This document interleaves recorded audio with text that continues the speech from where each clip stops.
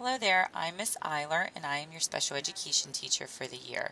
Um, a little bit about myself before I discuss our class is that um, this is my second year here at Achievement House. Um, I was a special education therapist before coming to Achievement House. Uh, at home I have two children. I have a daughter who just started kindergarten this year and my son who is three. Um, we also have a dog. He is a Rottweiler and his name's Silas. We enjoy playing sports on the weekends. Um, the kids are in t-ball and we play softball and volleyball. Um, we like to be outside, take walks. Um, we also like to listen to country music. So any country fans out there I'd like to hear about. When you come into my homeroom, you will come in every day at 12 o'clock. Um, we will have some activities that we can do together to um, talk about hobbies and interests, likes, dislikes, and also school information will be provided to you daily in your homeroom.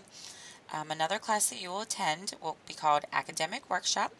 And this is a little different than your other courses, but what it is is you will come and see me one to two times a week and we will work on skills in reading, writing, and math.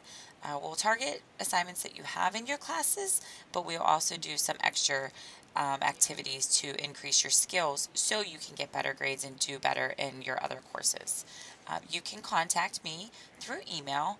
It is eiler at achievementcharter.com or my cell phone number is 412 660 8655. Again, I look forward to speaking with you um, soon and working together for the entire school year.